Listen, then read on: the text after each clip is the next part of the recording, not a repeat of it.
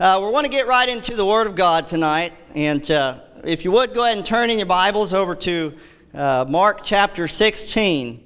Mark chapter 16.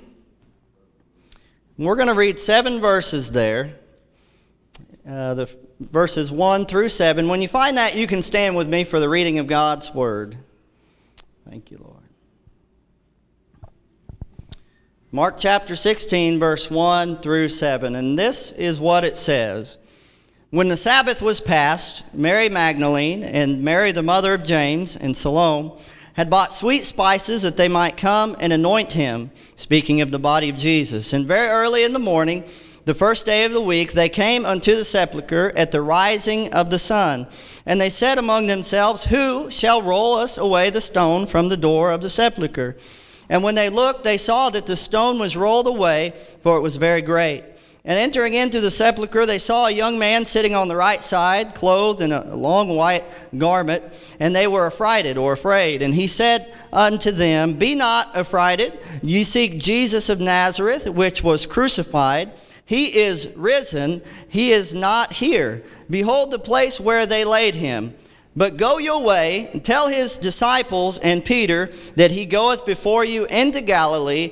There shall ye see him as he said unto you. I want to draw your attention back to the seventh verse. It says, Go your way, tell his disciples and Peter that he goeth before you into Galilee. There shall ye see him as he said unto you. You may be seated. I've used for a title uh, tonight's message Jesus has gone before us.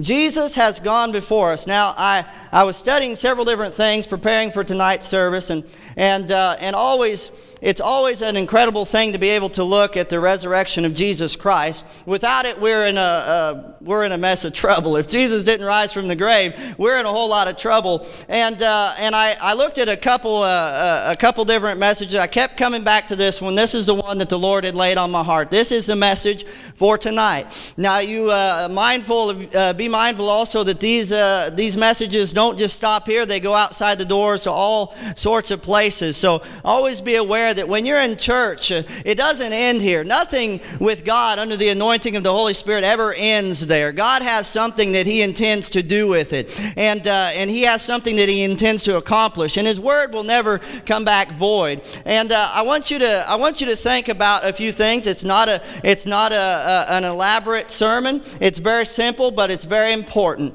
And so the very first thing that I want to mention to you is that Jesus has gone before us in life. He has gone before us in life. Now, we are all on a journey here in this world. We're all going, we all have different jobs, uh, professions, things that we do. We all have uh, things we do from day to day. We're all on a journey, but we all must come the same way, essentially. We're all born into this world. We all live here. Eventually, we will all die someday unless the Lord comes back. And I do hope that He comes back very soon.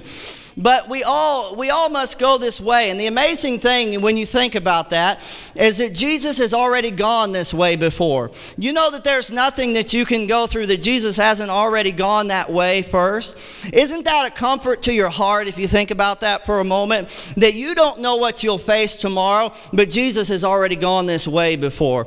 And you think about the fact that, that no matter what may come your way, Jesus has already gone this way before. He goes before us. That's what it was talking. He told these women at the, uh, the angel told these women at the tomb. They, he said, "Go your way," and, and and he goeth before you into Galilee. But still today, every person in this congregation, Jesus is going before you. He is going before you. May you may not always be aware of His presence so much. You may you may feel like God, are you really there? But I want you to know He's gone this way before you. He is gone this way before you. And when I think about this, uh, it's amazing to me that God would do that. God would come here to us. God would come here and do the things that He's done. Psalm chapter 8, verses 3 and 4. Listen to this. When I consider thy heavens, the work of thy fingers, the moon and the stars which thou hast ordained.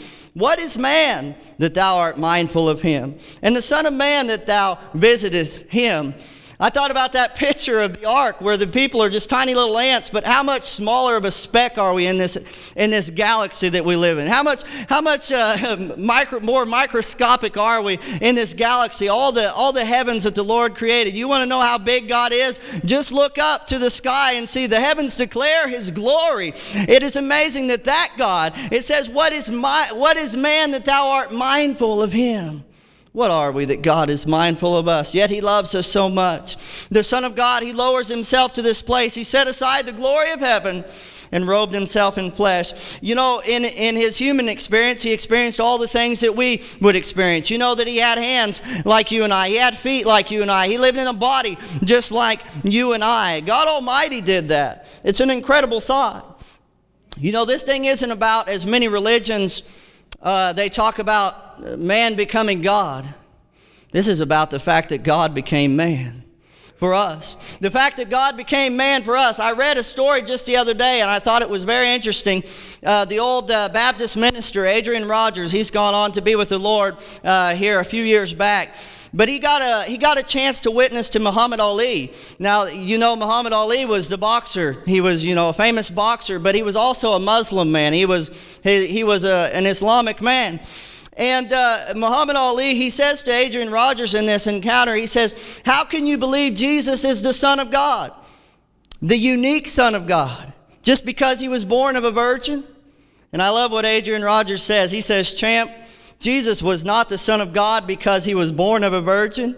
He was born of a virgin because he was the Son of God. Wow. Think about that. It's not about man becoming God, it's about the fact that God became man for us. Because we were in an impossible circumstance where we could not help ourselves. And so God said, I'll help them because I love them. God became man for us. All God, all man, the Son of God, the Son of Man, God Almighty robed in flesh. Amazing to think about that. And you say, well, has he known the things that I endure? And yes, he has known toil. Yes, he's known sorrow. Yes, he's known temptation. He's known a great deal of pain. We know that he knew excruciating pains, pains that we will never experience. The Word became flesh and dwelt among us. Isaiah 53 4 Surely he has borne our griefs and carried our sorrows, yet we did esteem him stricken, smitten of God, and afflicted. Amazing.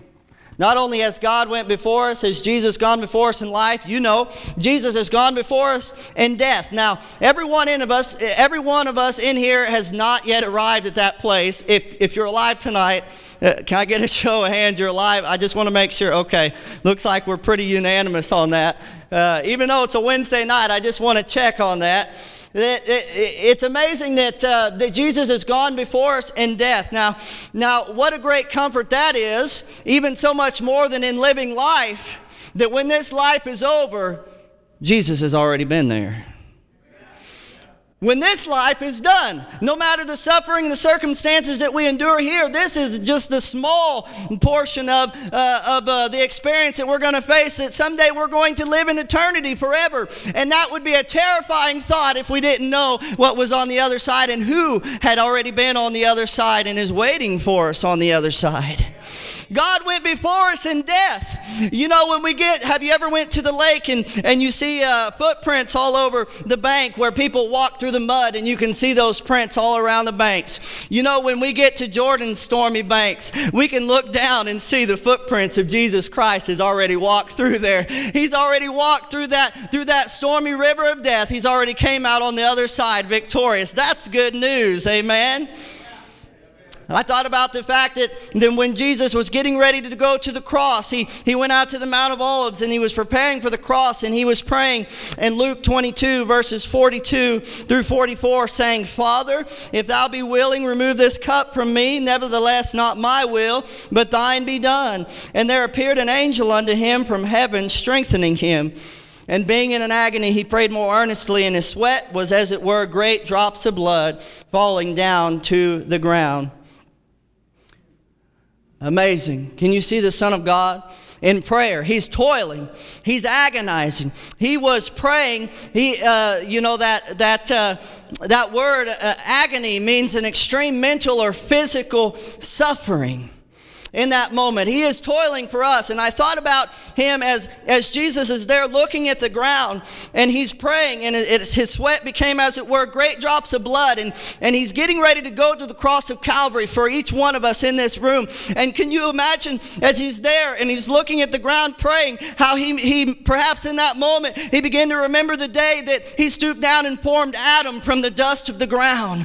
Could you, could you think about how he was there and he perhaps he remembered the day that he was forming? Forming Adam from the dust of the ground. And he, and he looked into Adam's face, and in, and in that face, he seen the face of every single one of us in this room. In Adam, he seen the face of you, and you, and you, and you, and me. In Adam, he was seeing that. And, uh, and he breathed the breath of life into him, and, and man became a living soul. And even though he knew that someday he would have to come and die for us to redeem all of mankind, he was willing to do that. Can you see him doing that? Can you see him praying? Can you see him toiling? Can you see the sweat dropping from him, as it were, great drops of blood as he's preparing to go to Calvary? Wow. In that moment, he saw you. In that moment, he saw me. Wow. Hebrews 2 9 says, But we see Jesus who was made a little lower than the angels for the suffering of death, crowned with the glory and honor, that he by the grace of God should taste death for every man. And in that hour, it was, it was an hour of very much heaviness. The wrath of God was going to be poured out on his son. The heaviness of that hour, could you imagine the heaviness of an hour? It, it, was, so, it was so much so that there was an angel that came strengthening him in that, in that hour. That's what the Bible says. And his sweat came, became, as it were, great drops of blood. Now we look at the cross as he's getting ready to die and the amazing words that he says in John 19:30 when Jesus therefore had received the, the vinegar he said it is finished he bowed his head and gave up the ghost he said it's finished the commandment that he received of his father to come here, to lay down his life, to take it up again, that's a commandment. But that atoning work, the sacrifice was made, it is finished. You know what that means? The Bible says the wages of sin is death. You know, we sin, we, we earn our wages, we earn that wage is death. You work a job, you expect to get paid so much money. When you sin, the wages is death. Your earnings is death. Every single one of us. We've ever lied, we've ever stolen, we've ever we've ever cheated, we've ever we've ever taken God's name in vain. Every single one of us are guilty of transgressing against God's law, and we've earned our wages. The wages of sin is death. In Jesus, when he said, It is finished, you know what he was saying? He was saying the debt is paid. The gift of God is eternal life through Jesus Christ our Lord. The debt is paid. And He died for us. He went before us in death. Amazing. Greater love has no man than this that a man lay down his life for his friends. Now, look at look at, ne- at the next one is that Jesus has gone before us in resurrection. If Jesus had just died, like I said earlier, we'd be in a mess. But Jesus didn't just die. Look at what it says in Acts chapter 2, verse 24, speaking of Jesus, whom God hath raised up, having loosed the pains of death, because it was not possible that he should be holden of it.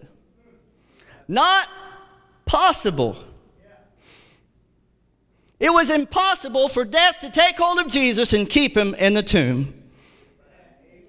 Death had finally met someone that was greater than him.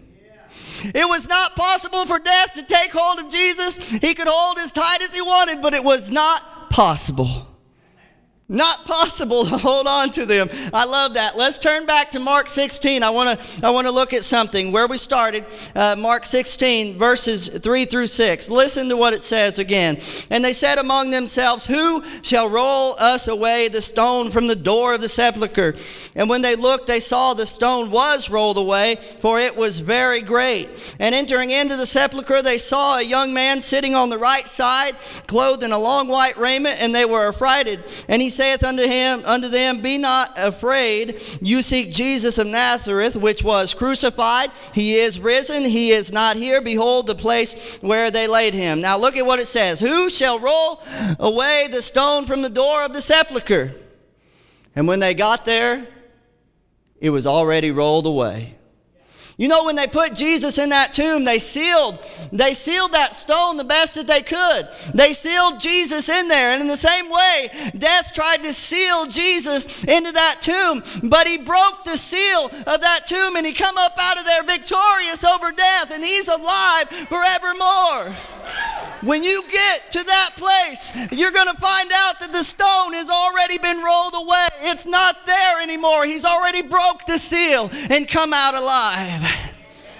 Praise God. Jesus defeated, listen, Jesus defeated death from the outside in. You know, when he called Lazarus back from the dead, he said, Lazarus, come forth. And from the outside in, he commanded Lazarus to come forth, and the dead came forth from the outside in. But when Jesus died, he went into the tomb and he defeated death from the inside out. He did it from the outside in, from the inside out. You know what that means? That our dead hearts inside of us, that Jesus can come into that heart, that cold place of death inside of you, and He can bring you life from the inside out. Praise God. Praise God. No longer do we need to ask that question who's going to roll the stone away? It's already been settled. Jesus has already rolled the stone away. It's already been done. Death can no longer seal you inside. You've got a way out. Hey, I'm enjoying it whether you are or not. that's, uh, that's so wonderful. I love that Jesus said in John 11, 25 and 26, you know the verse. Jesus said unto her, I am the resurrection and the life. He that believeth in me, though he were dead, yet shall he live. And whosoever liveth and believeth in me shall never die. Believest thou this? Yes. Can you say, yes? I believe this. Jesus said it. I believe it. I was dead in, in sins and trespasses of sin, but Jesus came into my heart and he brought that life from the inside out. In Second Corinthians chapter 4 verse 6 it says for God who commanded the light to shine out of darkness has shined in our hearts to give the light of the knowledge of the glory of God in the face of Jesus Christ. Out of this cold dead heart Jesus came and brought life to me. Out of this cold dead heart he took my sins and he washed them away with his precious blood blood. He caused the light to shine inside of this from the inside out. And I'm going to do the very best I can to let my light so shine before men that I can bring glory to Jesus Christ. Amen. Woo. Jesus made that proclamation in Revelation chapter 1, verse 18. He said, I am he that liveth and was dead, and behold, I am alive forevermore. Amen and have the keys of hell and of death. Praise God. He's gone there before us in resurrection. If we'll find, if we'll get ourselves in Jesus, we can go everywhere Jesus has gone. We can go to death and not have to fear because Jesus has already been there. We can see those footprints going right up through the stormy banks of the river Jordan. He crossed right on through and he says, You can come on right on through too. And he'll bring you back. He gives us life. He gives us everlasting life. It's never going to go old. Jesus is amazing. Give God a praise tonight. Praise God. Woo. He's good.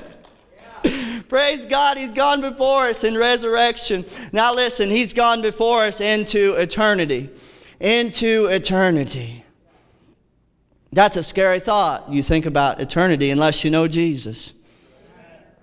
Never ending. Never ending. You can't, you can't even wrap your, we're, we're bound in time here, and, and we can't even wrap our minds really, truly.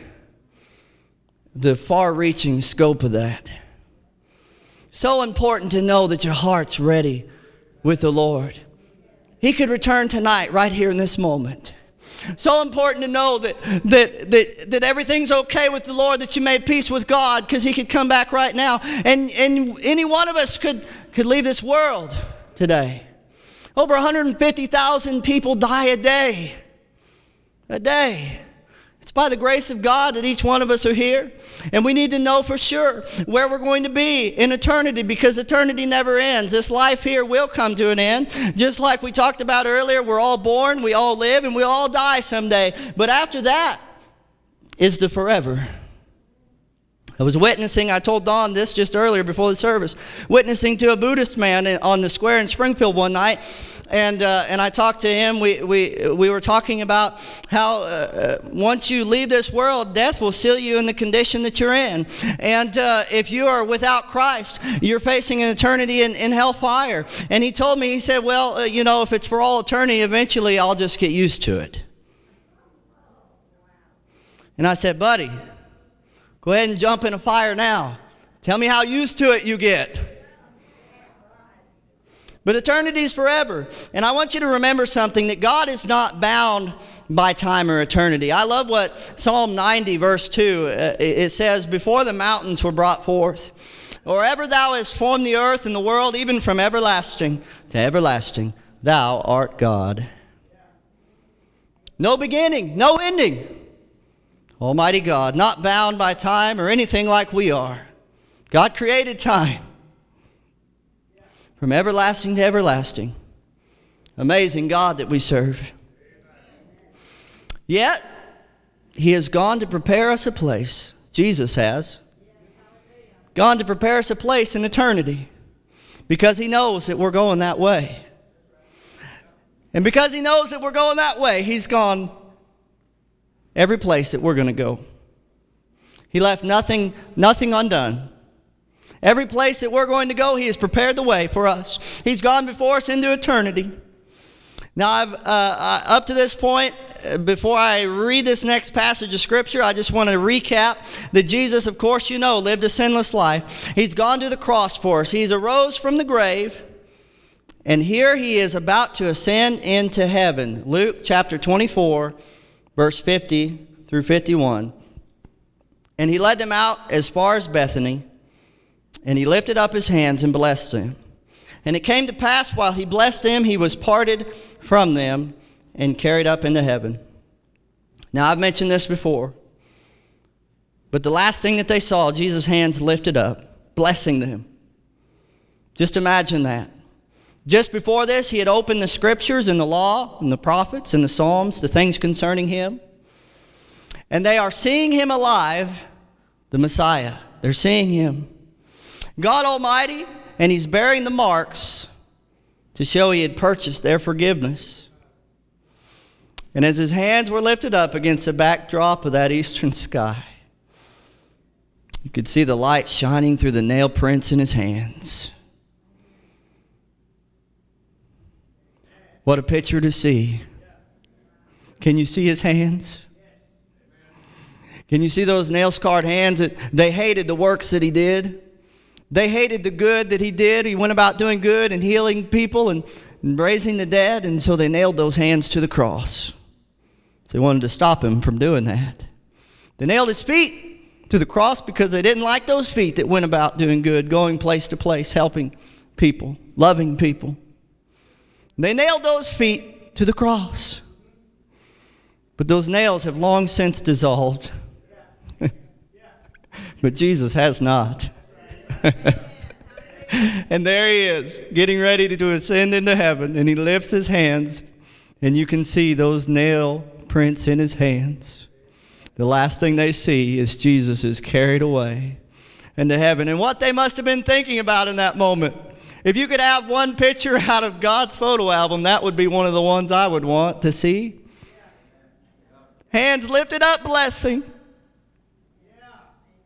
And they must have been thinking about the promises that Jesus said, like he said in John 14 Let not your heart be troubled. You believe in God, believe also in me. In my Father's house are many mansions, and if it were not so, I would have told you. I go to prepare a place for you. If I go and prepare a place for you, I will come again and receive you unto myself, that where I am, there ye may be also. And whether I go, you know, and the way you know. What a promise. And I'm going to follow him all the way. I'm going to follow him all the way. I'm going to follow him through life. I'm going to follow him through death if he chooses to tarry his coming. And I'm going to follow him into eternity where he's going to be waiting with those arms lifted up. Nail prints in his hands. That's my Lord. That's him. I know him. Oh, praise God. He's preparing us a place. He's gone before us in eternity. How amazing is that? He's gone before us in everything, in life and death and resurrection and eternity. And He left some things behind for us. he left some things behind for us. He left us a victory of the cross. He left us a victory of the cross, that emblem of suffering and shame, as the song says. And I love that old cross because it was where Jesus took my place. It's where He took the suffering and the pain for me. He went there for me, and He left us the victory of the cross. He left us the victory of the cross where God Almighty poured out His wrath on His Son in my place. The Bible says he was numbered with the transgressors. Can you see how out of place Jesus is in the lineup? You see a lineup of criminals from time to time. Could you see Jesus in a lineup of murderers and thieves and adulterers? How out of place is he? We would be right at home in that lineup. But he was numbered with the transgressors for us. He left us the victory of the cross. He left us the victory over sin and death. It no longer has dominion over us. He gave us a new heart, new desires.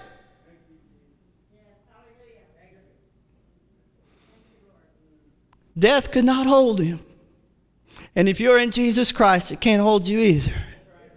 Praise God. He left us the victory over sin and death. He and he gave us this promise of eternal life. He gave us this promise of eternal life, that hope that we can look forward to, that someday where I am, there ye may be also. He left us a promise that we're going to be with Him, that it doesn't end here, and it just gets better from here, not worse. We've had those days where things just get worse.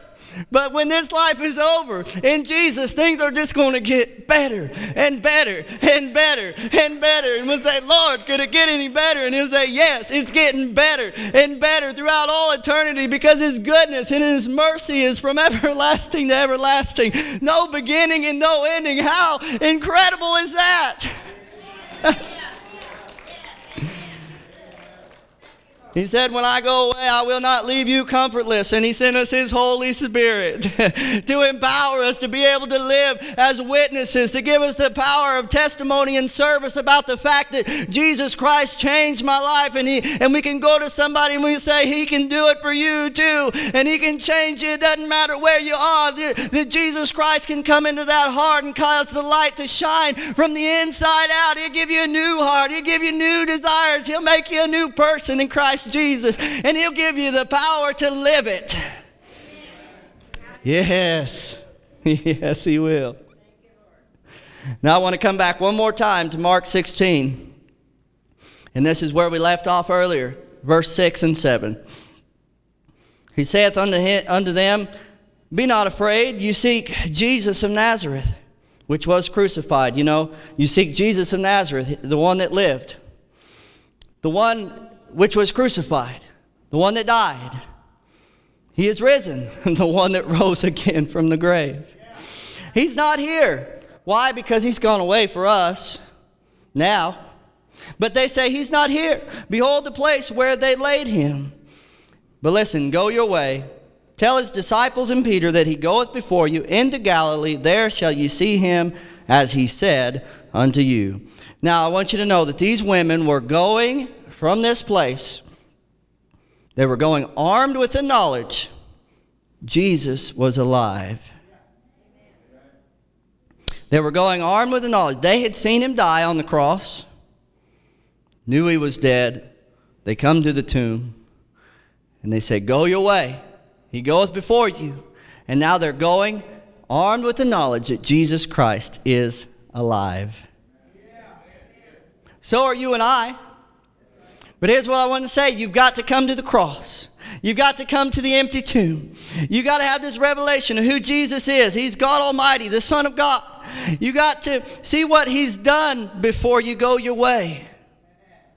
Before you go your way, you better be armed with the right knowledge and understanding before you go your way.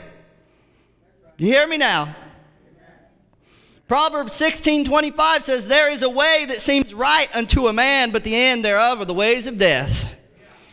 The way that your own ideas, your own knowledge, your own thoughts, I'm going to go this way. I'm going to go my way. I did it my, you know, the old song, I did it my way.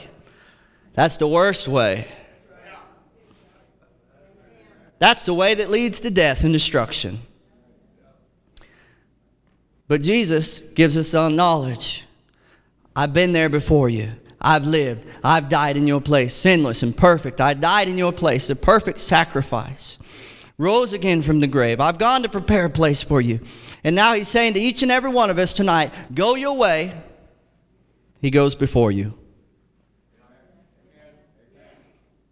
Awesome. Awesome. When you have that revelation, you can confidently go your way. He goes before you. And you know what? You're going to see him just as he said. Remember when he gave us a promise in John 14 if I go, I will come again. And we'll see him just as he said. Hmm. As we come to the conclusion of the message, I want to just mention a few other things. Jesus, he left us these road markers along the way. And as we know, we he's went before us in all things. And I just kind of want to recap. We've got to go to the cross of Calvary to see our sins upon the cross and repent. You've got to see your wickedness in the light of the cross of Calvary. You've got to see that the Word of God says, The soul that sinneth shall die. And when the, when, when the Word of God shines that light on you, you've got to see it in the light of the cross of Calvary. And you'll realize in that moment, as I did, that Jesus was on the cross for me. That He was dying for me. It wasn't just a story, it wasn't just something that Jesus did, but it was actually something He did for me. You've got to go to the empty tomb and see the stone is rolled away. The tomb is empty. Jesus is alive. He's not dead.